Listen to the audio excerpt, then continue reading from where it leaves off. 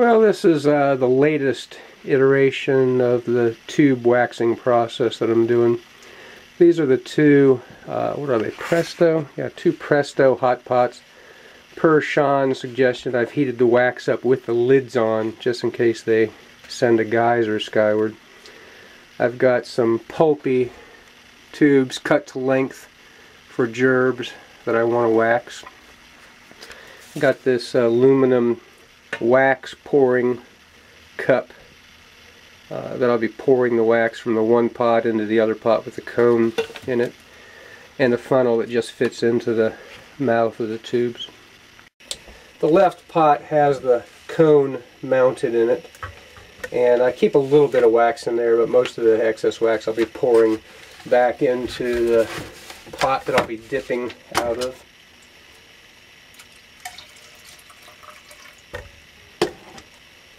I would normally do this outdoors, but it's cold and sunny today, so it's tough to get a good video out there. I do wear these thick nitrile gloves to protect my hands against any spills. I'm keeping the hot pot temperature set at 200, which is a low setting. And uh, it's melting the wax nicely, but it, the temperature or the uh, heat does kick off once the wax gets melted. Dakota tube. Just putting the bottom down on the cone, sticking the funnel in there. The funnel slides into the tube about a half inch before it gets pretty good and snug.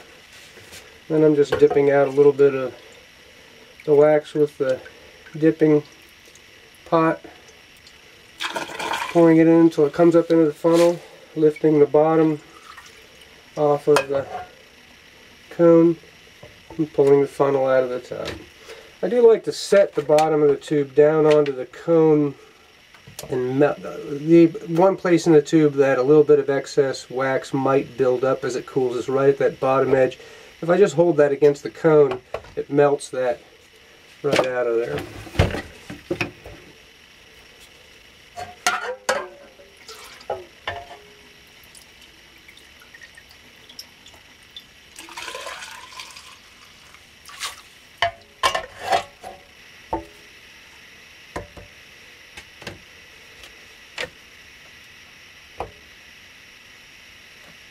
It puts a nice thin even coating on the inside of the tube. It still allows my rammer to slide into the tube. There's no significant excess in there to prevent the rammer from sliding in but it does provide all the benefits of the tube waxing that we're looking for.